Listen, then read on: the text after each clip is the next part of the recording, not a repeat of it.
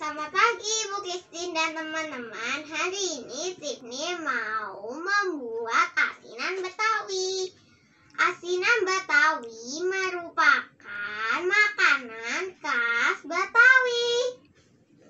Bahan utamanya ada bangkoang, toge, kubis atau kol, wortel, tahu, selada, dan mentimun. Bumbunya ada cabai merah besar, ada garam, ada gula pasir, ada ebi atau udang kecil, ada asam jawa, ada gula merah, ada cuka matang, ada air matang. Semua ini cabai dan garam diulek. Lalu dicampur, dimasak sampai mendidih. Tunggu dingin dan jadi kuah asinan. Bahan pelengkapnya ada kacang tanah goreng, kerupuk atau kerupuk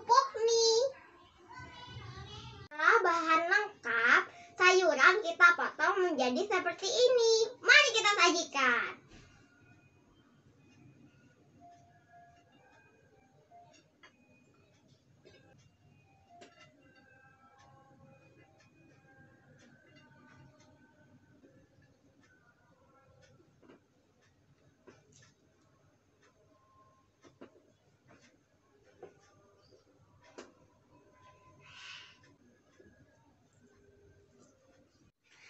Setelah sayuran sudah masuk ke dalam mangkok, mari kita siram dengan bumbunya.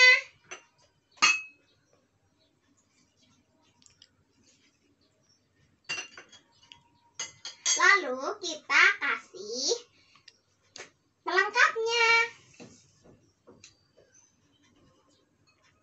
Wow, kelihatan enak ya.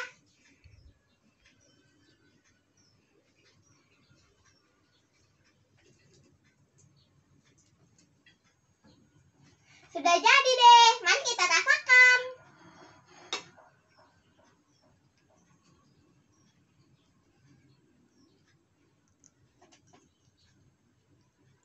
Hmm, agak pedas. Sekarang Sifni tahu rasanya asinan Betawi. Tetapi